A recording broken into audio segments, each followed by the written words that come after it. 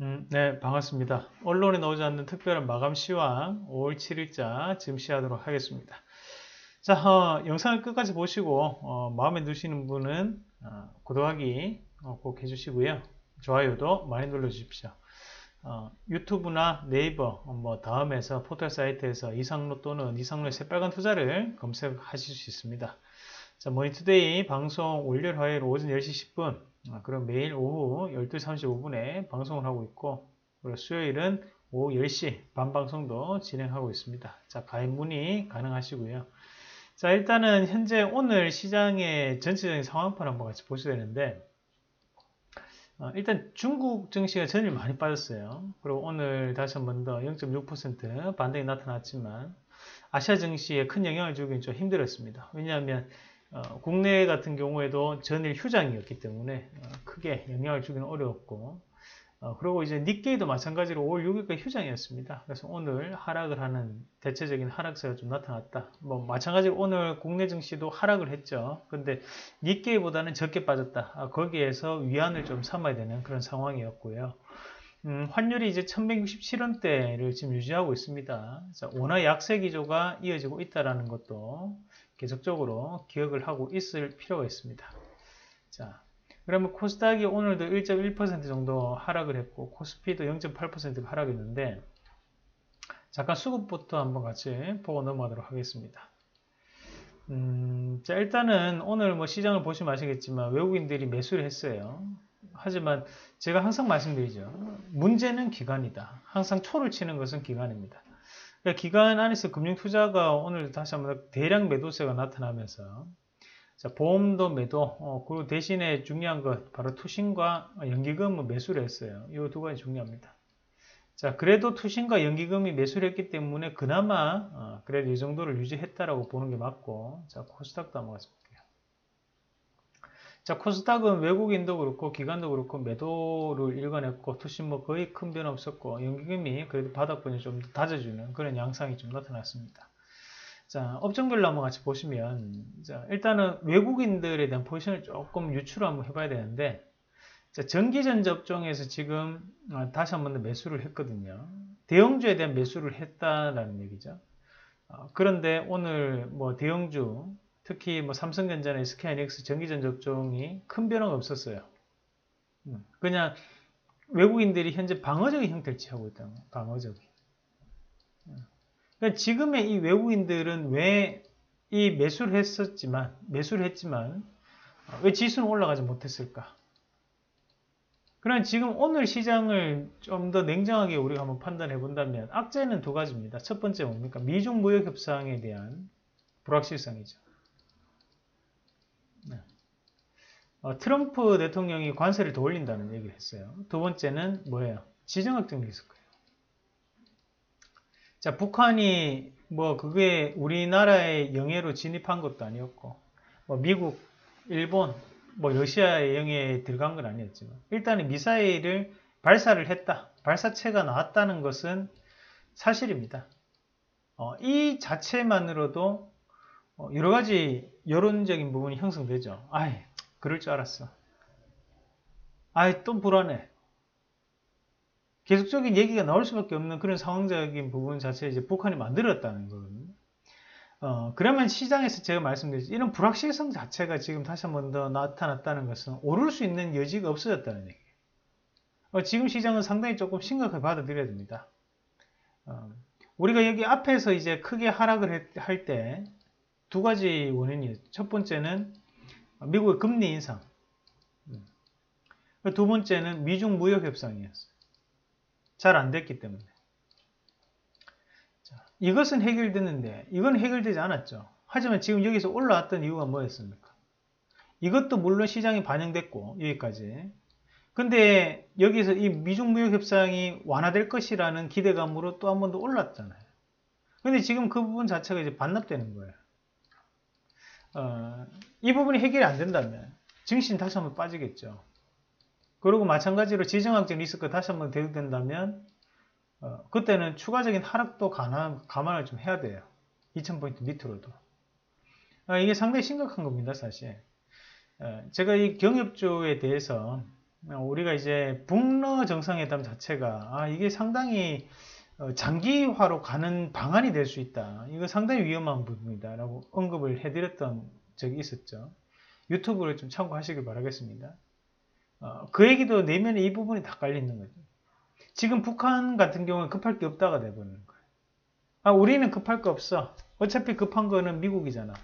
왜 니는 트럼프 재선 안 할 거야? 재선하려면 좀 더 특별한 게 필요하고 그게 북한이 될 수 있다는 거야. 근데 트럼프는 그런 계산을 하지 않거든요. 미국의 입장에서 북한은 그냥 작은 한 가지 나라일 뿐이에요. 차라리 급한 거는 우리나라가 더 급합니다. 이 문재인 정부에서 뭔가에 대해서 성과를 내지 못하면 어, 북한에 대한 여론 자체가 바뀔 수 있기 때문이죠. 오히려 급한 것은 한국과 그리고 미국입니다.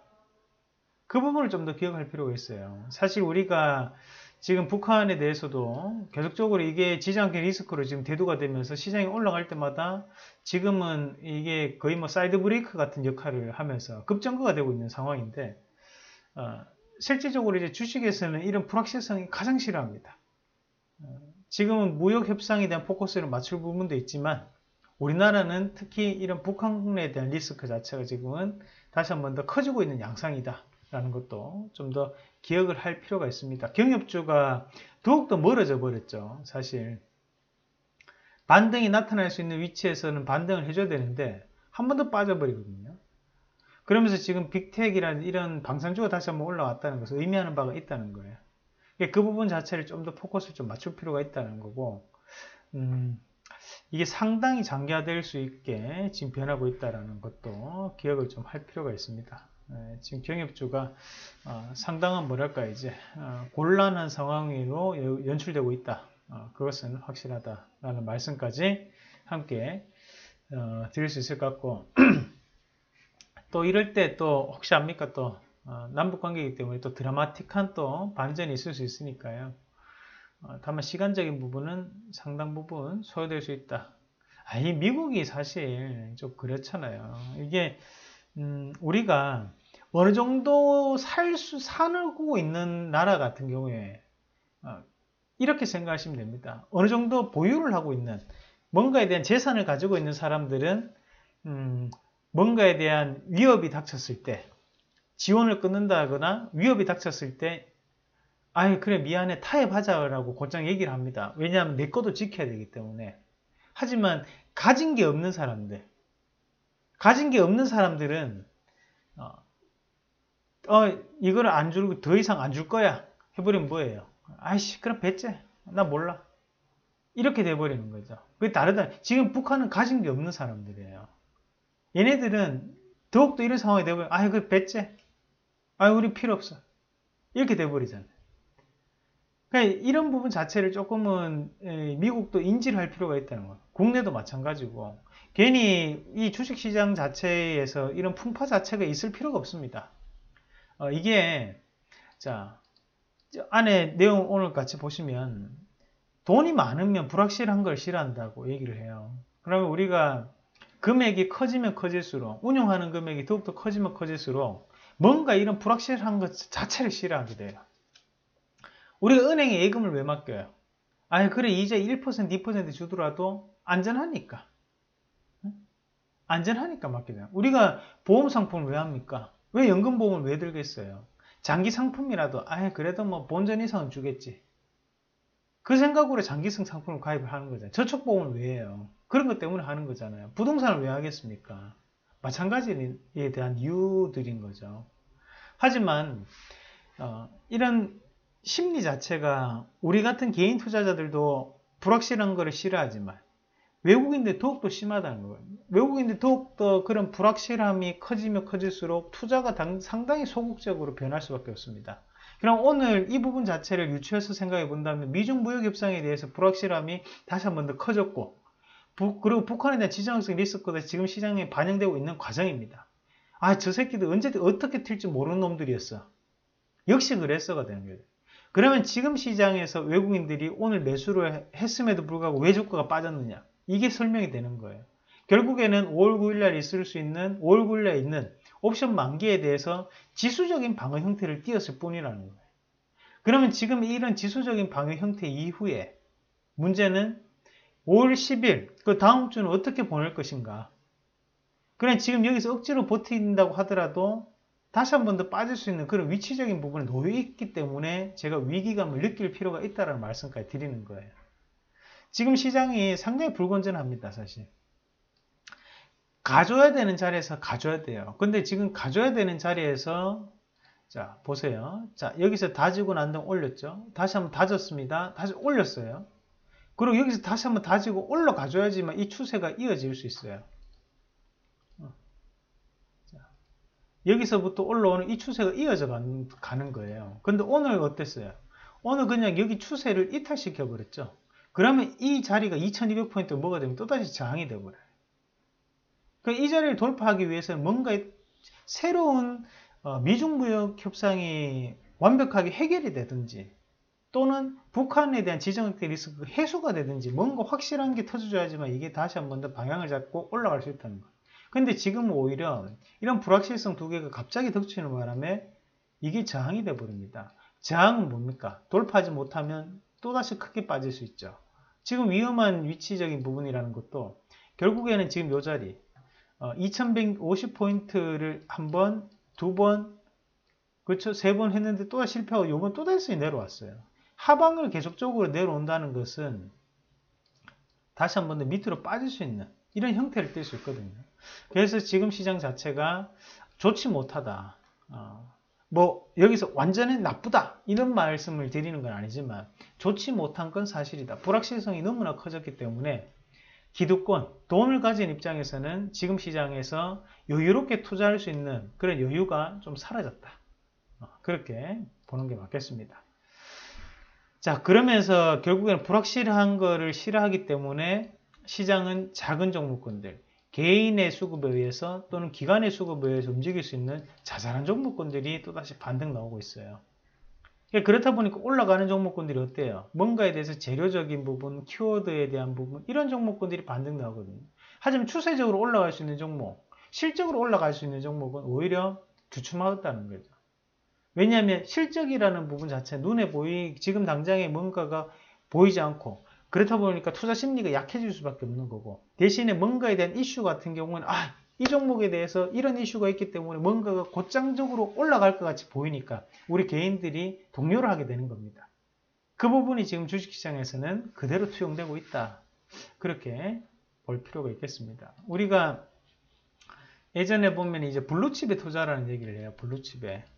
예, 우리가 우량주, 조금 올라갈 수 있는 종목군들을 얘기를 많이 하는데 어, 실질적으로 지금 시장에서 이런 블루칩이 다 죽어버렸죠. 어, 레드오션이 되어버렸고 대신에 우리가 지금 시장 같은 경우에는 조금은 뭐랄까요 이제 어, 뭔가에 대한 어, 예전에는 실적 실적이 50 주가가 올라갈 때 그 나머지 50이 기대감 어, 뭐 이걸 재료라고도 표현합니다. 이렇게 되는데 지금은 실적은 10 나머지 기대감이 90입니다. 이 사이 차이가 상당히 벌어져 버려요.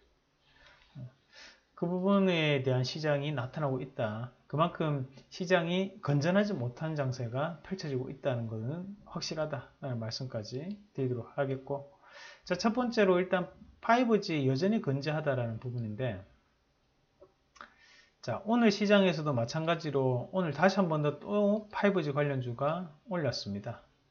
거기에 RFHIC, 에이스테크, KMW 뭐라고 했어요? 요 기업들이 바로 그 기지국 안테나 관련주죠. 음. 그러니까 지금은 이런 쪽들에 대해서 수급 자체가 계속적으로 붙는다라고 밖에 볼 수 없어요. 지금 에이스테크에 대한 주가 자체도 보면 또다시 장중에 빠졌다가 5일선 지지 받고 올라가는 상황이고 그죠? RFHIC 뭐 이런 것들도 신고가 다시 한번 또 써버리는 거. KMW. 음, 계속적으로 부채가 가거든요. 지금. 시장 자체 흐름이. 이런 부분 자체가 지금은 다른 쪽으로 뭔가가 수급을 넘어갈 수 없다 보니까 그냥 기존의 이런 재료적인 모멘텀을 가지고 있던 종목군들에 대해서 한 번 더 수급이 그냥 들어가는 겁니다.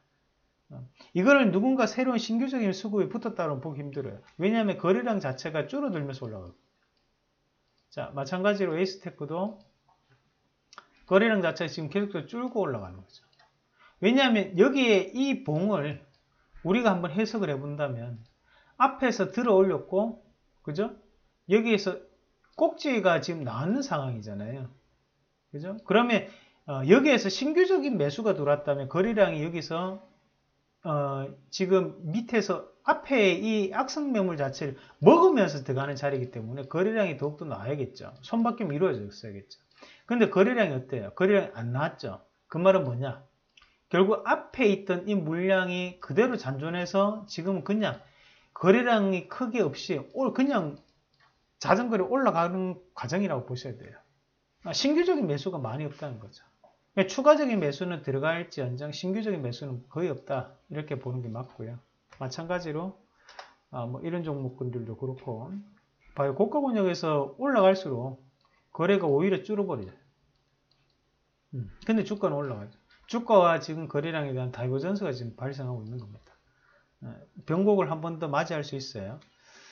자, 그래서 이런 것들은 지금 현재 시장의 수급적인 분위기가 그대로 노출되고 있다는 거고 5G, 뭐 지금 자율주행 마찬가지입니다. 그리고 오늘 비메모리 반도체까지도 기존에 현재 있던 수급에 대해서 움직이고 있다는 것을 좀 더 기억을 하고 있어야 돼요. 키워드가 바뀌지 않았습니다.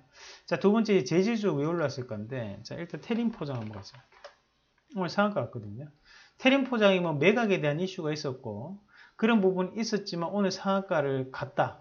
이것은 매각에 대한 이슈만으로 해석하기에는 조금 과장되는 상승이다라고 보고, 테린 포장이 어, 이 우리가 골판 원지라고 골판지 원지라고 하죠. 그 부분에서 가장 우리가 이제 골판지를 만든 업체 중에 어, 가장 매출 그 뭐랄까 이제 시장에 대한 점유율이 가장 높은 회사입니다. 테린 포장이. 그럼 오늘 이 종목 말고도 신대양 재지, 그쵸? 아세아 재지. 자, 자 이게 차트가 뻥 났네요. 지금. 자, 요, 제가 제 화면으로 같이 보도록 하겠습니다. 이 화면에 이걸로 볼게요. 음. 아이고.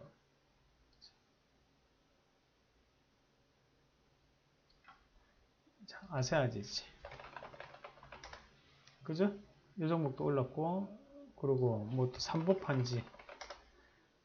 그죠? 삼보판지도 올랐고 또 뭐가 있었습니까? 뭐 대림재지 다 반등 나왔어요. 응? 수출 포자 응, 다 반등 나왔다. 그러니까 왜 이런 종목군의 반등이 지금 현재 형성됐느냐? 그러니까 결국에는 어, 새로운 이슈거리가 아니거든요. 기존 시장에 노출되어 있는 제주주가 노출되어 있었잖아요. 왜 올랐습니까? 제주주가. 자, 중국에서 폐지 수입을 안 한대. 폐지 수입의 양이 줄었대. 그러니까 국내에서 폐지가 더욱더 많이 유통되고, 그럼 그 폐지가 많이 유통되니까, 어, 당내 폐지 가격이 낮아지고, 폐지 가격이 낮아지니까 골판지 원지를 생산하는 업체에서는 원재료 가격이 낮아진 거잖아요. 근데 반도 그 골판지에 대한 수요는 더욱더 증가하고 있고, 택배 물량이 증가하고 있기 때문에. 우리가 골판지 원지하고, 어, 상자, 택배 상자하고 그리고 일반 우리가 쓴 A4 용지나 이런 것들은 어때요? 만져보면 질이 다릅니다. A4 용지는 비빈다고 해서 우리가 부드럽게 될 수 있는 종이가 아니에요. 마찬가지로 선거 용지 같은 거 우리 도장 찍을 때 보세요. 뭐 OMR 카드 작성할 때 시험 칠 때 쓰는 거 빳빳하죠. 그런 종이들. 그런 종이들 비빈다고 해서 부드러워집니까? 아니죠. 근데 신문지나 아니면 택배 상자 어때요? 택배 상자 같은 경우에는 조금만 뜯어버리면 부스럼 쓱 나옵니다. 막 먼지 같은 거 막 일어나요. 그건 폐지로 만들었기 때문에. 지금 질이 다르다는 거예요. 그러나 지금은 이런 제지주들이 다 오르는 게 아니고 이런 펄프로 만드는 업체들이 오르는 게 아니고 어, 이런 폐지로 만든 업체들이 상승하는데 이 상승에 대한 이유 자 결국에는 중국에 대한 수입이 어, 줄어들었고 중국에서 수입하는 양이 그렇다 보니까 영업이익이 상당 부분 확대가 되는 시점이고 이 여기에 대한 수급이 이미 기존에 들어와 있었기 때문에 한 번 더 순환 매적으로 올라가고 있다. 이렇게 해석을 하는 게 맞습니다. 어, 그럼 이런 부분 자체도 마찬가지로 키워드가 이미 노출되어 있는 키워드거든요. 지금 시장은 노출되어 있는 키워드 안에서 계속적으로 돌아가는 그런 양상을 띠고 있다라고 보는 게 맞고 신규 키워드로 접근을 하기에는 시간적인 부분이 지금 delay가 되는 거예요. 원래는 딴 쪽으로 넘어가 넘어가 넘어가고 돼야 되는데 시장이 그 한쪽에 계속 수급 쏠림이 현재 진행되고 있다는 걸 좀 더 기억을 하실 필요가 있고요.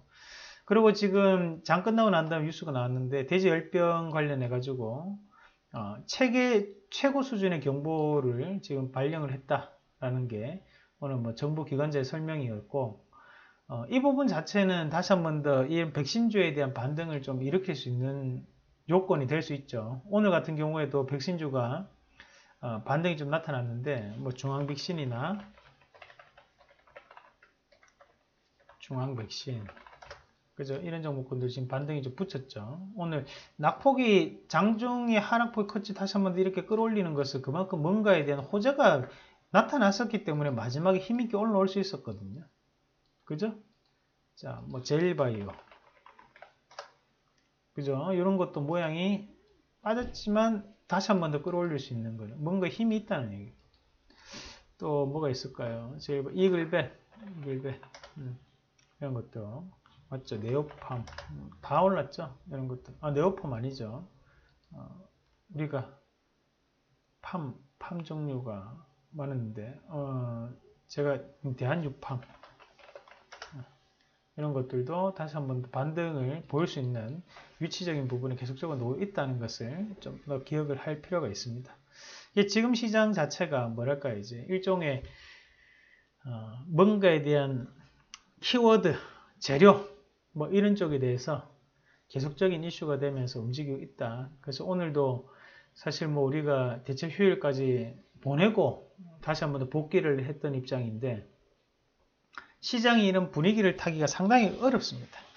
어, 지금 시장이 뭐 며칠 쉬고 난 다음에는 감을 잡기가 정말 어려워요. 저도 마찬가지입니다. 저도 오늘 어, 이런 공개방 그 라이브 방송을 진행하면서도 회원분들하고 말도 많이 안 했어요. 왜냐하면 시장을 집중해서 읽을 필요가 있는데 전화는 전화대로 오고 어, 그리고 뭐 또 여기 라이브 방또 라이브대로 해야 되고 어, 또 추천, 추천도 또 해야 되고, 뭐. 바쁜다 보니까 또 방송도 해야 되죠. 어, 집중을 하려고 좀 더 이런 어, 신경을 좀 많이 쓰고 시장을 좀 봤었는데요. 어, 조금씩 오늘 이제 감이 좀 잡히는 것 같아요. 어, 이 시장이 어, 지금 그만큼 흐름이 상당히 빨라요. 음. 그러니까 그 흐름 자체를 조금 우리가 또다시 바이오 리듬 타듯이 조금 이렇게 맞춰줘야 됩니다. 아, 그래서 그런 부분 자체를 좀 알고 계시면 좋을 것 같고요. 그리고 이제 마지막에 이제 코롱 티슈진인데 오늘 하는 것 같죠. 이거는 음 전에 일전에 제가 한번 말씀드렸지만 이런 부분이 이제 소송까지 이어진다고 말씀을 한번 드렸었는데 아, 이 얘네들은 근데 문제가 있어요. 어, 지금 생각하면 이제 정리가 되죠. 아, 이거는 저의 개인적인 의견입니다. 이것은 회사에 대한 내용과는 다릅니다. 오로지 저의 개인적인 의견이라는 걸 다시 한 번 더 말씀을 드리고요. 어, 그럴 가능성이 있다라는 전제로 말씀을 드린다는 걸 먼저 말씀을 드리도록 하겠습니다. 음, 일단은 코롱 티슈진이 앞에서 이제 인보사 관련해 가지고 어, 기업 측에서 신규적으로 나온 뉴스가 어, 얘네들이 2년 전이나 3년 전에 이미 인지를 했을 확률이 높다라고 하죠. 음. 근데 이웅열 전 코롱 회장이 어, 이제 나왔던 것이 얼마 안 됐습니다. 그럼 그 사람이 이걸 알고 있었을까? 어, 알았을 확률이 높다고 말씀드릴 수도 있죠. 어, 일종의 가설입니다. 제가 얘기하는 것은. 왜냐하면 이 사람들은 돈이 많아요. 조심해야 돼요.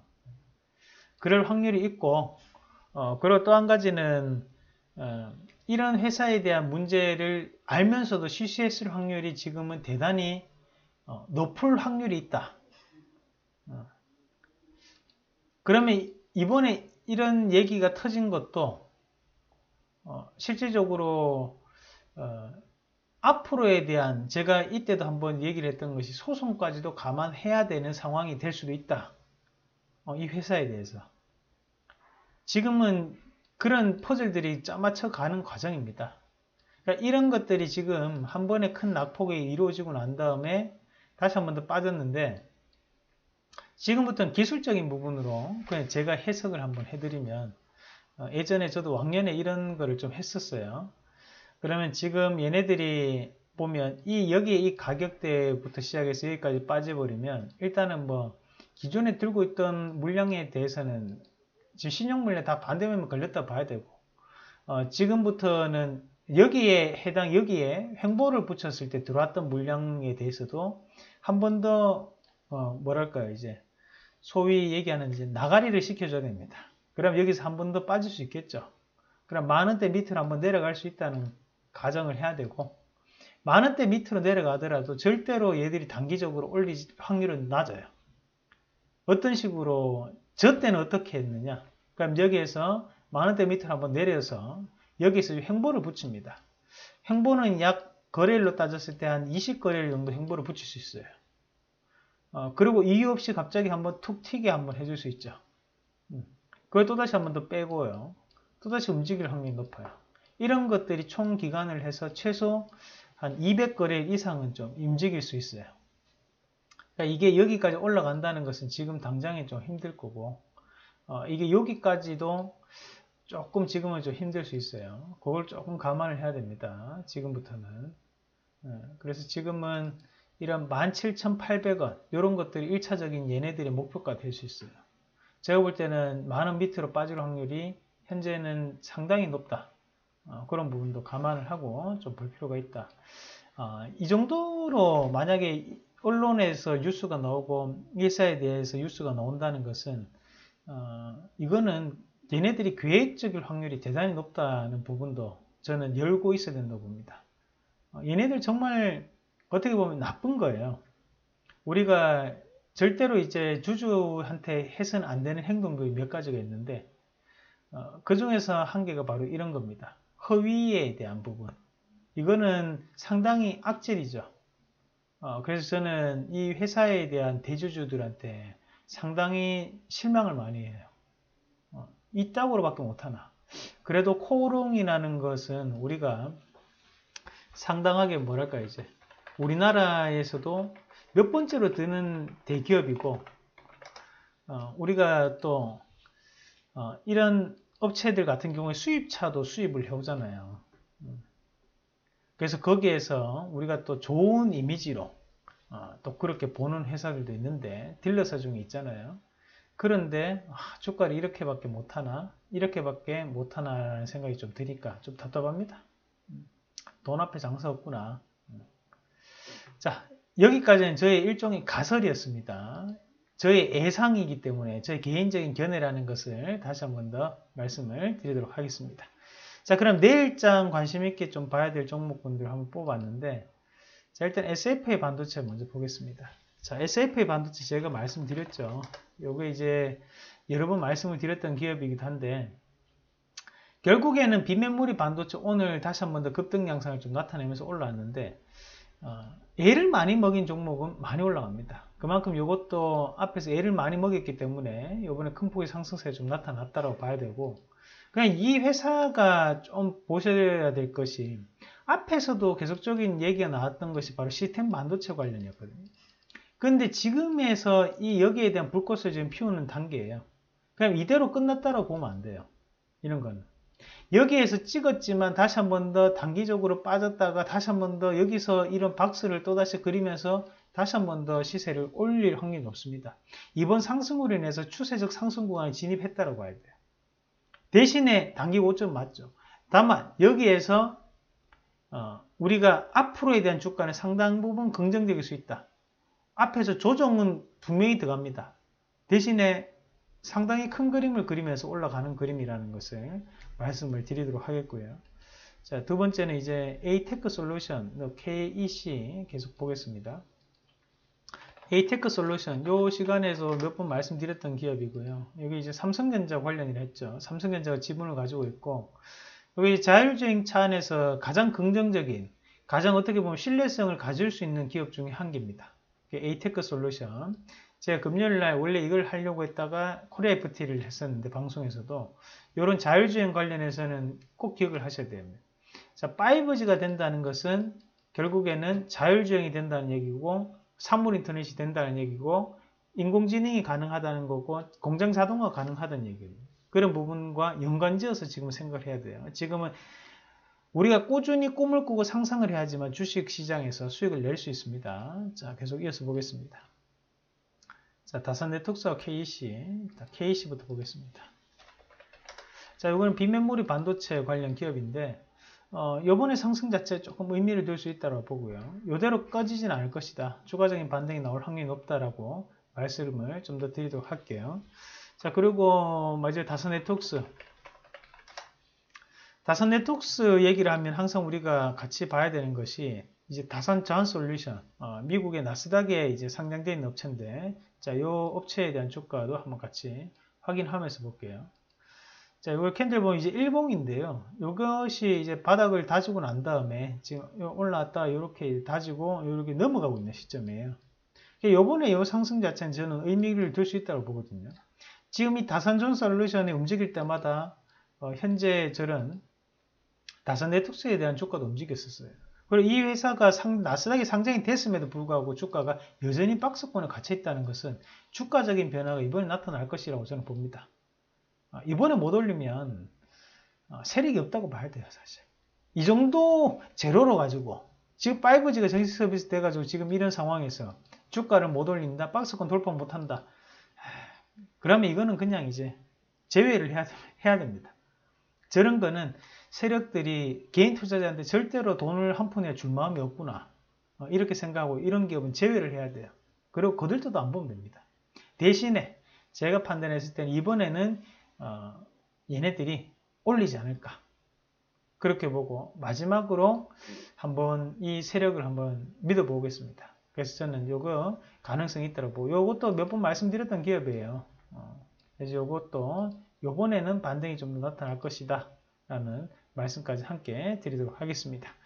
자, 오늘 이렇게 종목군들 봤는데 중간에 이제 차트가 뻥나는 바람에 어, 방송에 좀 차질이 있었습니다. 양해 말씀을 좀 드리겠고 어, 시장이 보면 뭔가를 큰 돈으로 주식 투자를 하기에는 지금 시장이 상당히 어려워요.